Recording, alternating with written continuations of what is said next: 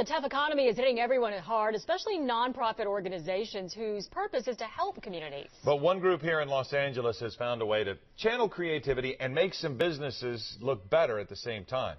Eyewitness News reporter John Gregory shows us how. They're learning to stay within the lines on the paper and in life.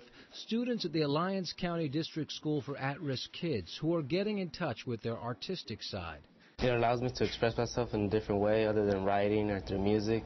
It's mainly like the discipline you get and the inspiration you get to express yourself. It really helps you out in terms of reaching a goal. The art instruction is provided by Theater of Hearts Youth First. The nonprofit is always struggling for funding, but it's even harder in a recession, which is why Theater of Hearts is turning to a unique way to raise money. They're lending the student artwork to local businesses in exchange for a donation. So this art lending program is a way that the community, a business, lawyers, doctors can have beautiful framed artwork in their surroundings and feel that they have empowered a youngster. This is an example of some of the artwork that's appeared in some local companies. And keep in mind, a donation to the Theater of Hearts program is also tax deductible.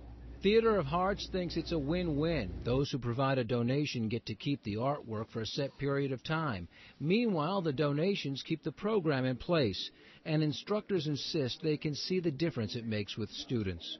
Once we get started, it, it, they start creating the, the, the, artwork and they start, you know, I guess, um, believing in themselves that they could create something beautiful creations that grace the school's walls, drawings and paintings, and other works created by kids who, without this program, would probably never get the chance to show the artist within.